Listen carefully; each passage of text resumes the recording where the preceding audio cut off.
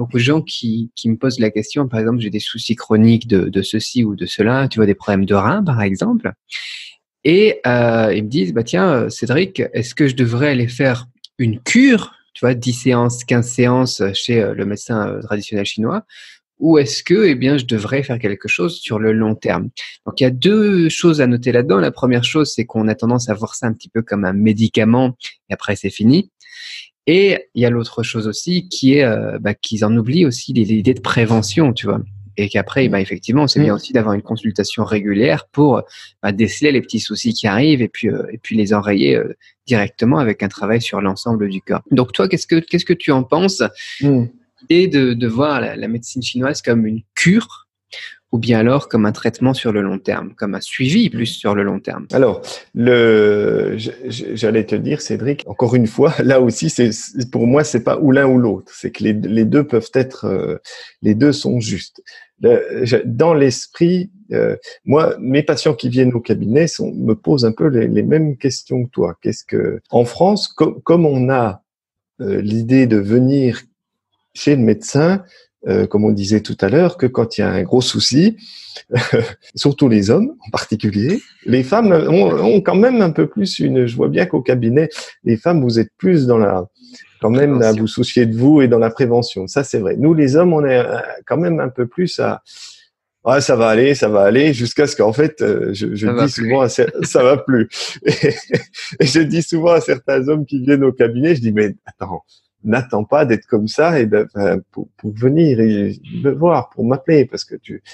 Enfin bon, voilà. Et c'est vrai que c'est un peu, on a un peu, mais alors c'est culturel aussi, puisque comme on le disait tout à l'heure, hein, le, le, le, en France, on a cette idée que le médecin, lui, il est là pour quand ça va pas. Donc, donc du coup, on a moins l'idée de se dire, bon, ça va bien, je, et j'oublie le médecin. On a moins l'idée. Pour autant, c'est vrai que normalement, il serait bien d'aller consulter votre praticien de médecine traditionnelle chinoise au moins une fois à chaque changement de saison. Ce serait pas mal. Donc printemps à la sortie du, des, grands froids, un petit coup à la fin de l'été, à la fin de la période canicule, euh, à l'automne, on va dire euh, au mois d'octobre, novembre en France, en fonction des, des changements de saison. Voilà, trois quatre fois dans l'année, c'est bien de faire un point, même s'il n'y a pas de, de signes de douleur ou de choses particulières. Voilà, c'est comme ça que dans l'esprit, la médecine traditionnelle chinoise fonctionne et quand on veut traiter euh, le terrain et rester en bonne santé, c'est comme ça qu'on devrait faire.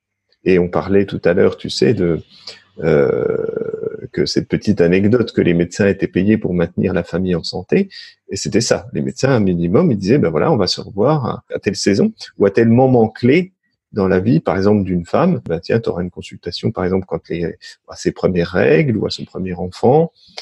Voilà, il y a, il y a des, sans attendre qu'il y ait quelque chose de pathologique. C'est, il y a un changement, un changement de saison, un changement à l'intérieur du corps, un changement dans ma vie, donc, quand il y a des changements dans votre vie, quand je dis des changements, c'est des changements significatifs, hein, pas forcément si vous déménagez, juste, bah, quoique, ça peut être un gros changement, quoique, quoique, ça peut être un gros changement. Si vous faites euh, comme Cédric, si vous faites des gros changements de vie et que vous déménagez, là, voilà, ça, fait partie des gros changements, des saisons, des saisonnalités de votre vie. Voilà, là, le, la pratique de la médecine chinoise et, et, le praticien de médecine chinoise est là, est là pour ça, pour veiller à ce que cette transition ne, ne, provoque pas chez vous de déséquilibre euh, majeur et que ça puisse se passer en douceur. Donc après, donc ça c'est pour la partie vraiment euh, prophylaxie, la, la, prévention. Donc ensuite, euh, après pour l'histoire de cure, j'allais dire, c'est vrai que euh, toujours pareil en France, et je, et je, le dis souvent, et tu parlais de douleur d'épaule ou de dos, et ça c'est vrai qu'en France, euh, mais je pense que ça doit être un peu pareil ailleurs. On a un peu, il y a, une, on a un peu une tendance, et les gens ont un peu tendance quand ils ont plus mal, quand la douleur disparaît, et on a tendance à dire ah bah c'est bon, c'est fini. Ça. Et, et, alors là, je dis souvent à mes patients, et attention, c'est pas vrai.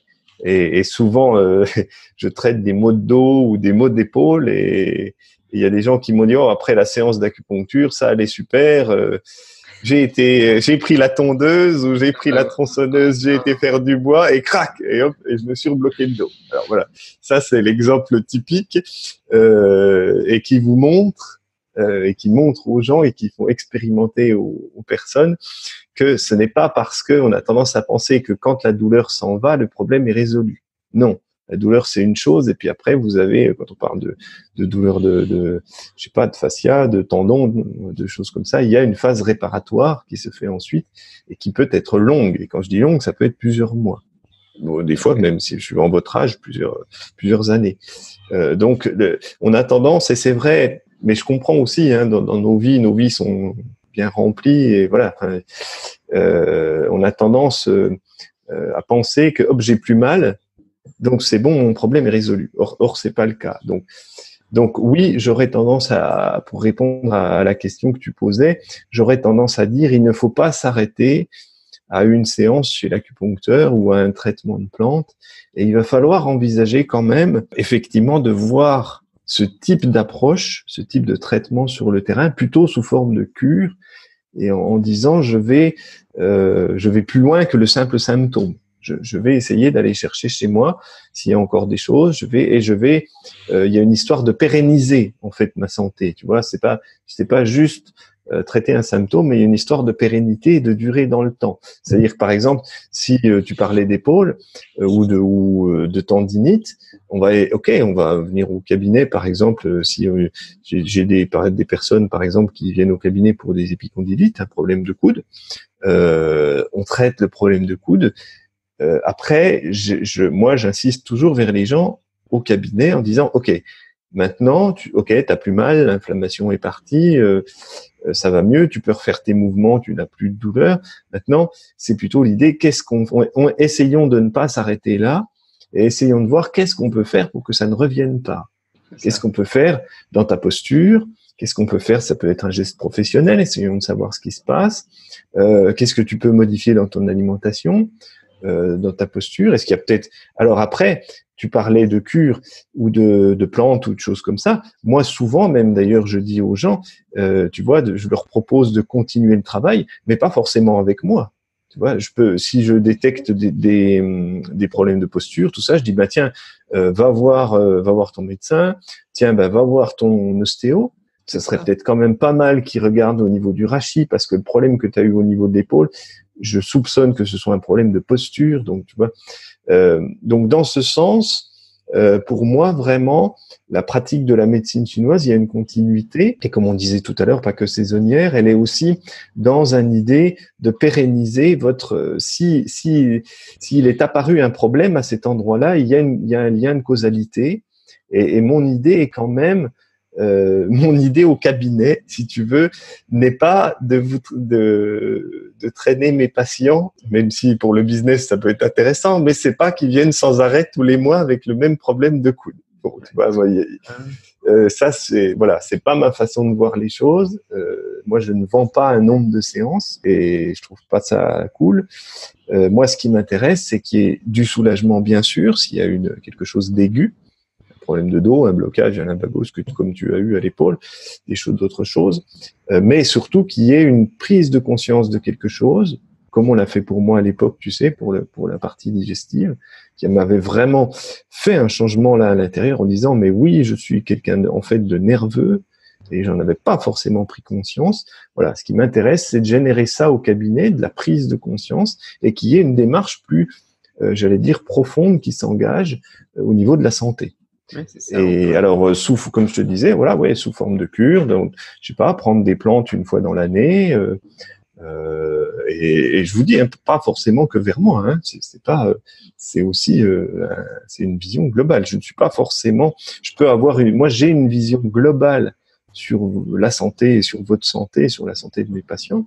Après, je ne suis pas forcément celui le plus adapté pour faire je ne suis pas forcément le plus adapté pour euh, voilà je, ne sais pas tout je ne connais pas tout et je ne pratique pas tout loin s'en faut. Même si j'ai commencé à avoir beaucoup de pratiques et de connaissances mais je non je ne sais pas tout. Et il y a des gens beaucoup plus adaptés et plus pointus que moi pour faire. Donc et, donc ben voilà encore une fois, c'est les choses que je vis en Chine et en Thaïlande, quoi. C'est dingue, mais toi, tu as des médecins ici, en, France, euh, ils te feraient revenir, par exemple, pour des douleurs, un neurologue, il te ferait revenir, revenir toujours des cachets, changer les cachets, s'il y a des nouveaux cachets, etc.. Et moi, il m'a balancé chez le physiothérapeute, quoi. Et c'est quelque chose que j'apprécie beaucoup dans cette culture asiatique, euh, l'idée de bah, d'aller voir justement quelle est la cause du problème et pas seulement euh, le traitement des, bah, des, des, symptômes, les traitements des médicaments chimiques. Même si, encore une fois, après, il y a des choses qui se recoupent. Tu vois, des, les médicaments chimiques, c'est des plantes à la base qui ont été isolées. Mais enfin, je sais pas, c'est oui. d'un côté, il y a l'idée euh, business, d'un autre côté, il y a l'idée euh, plus humaine aussi et que, que tu évoques aussi qui est intéressante.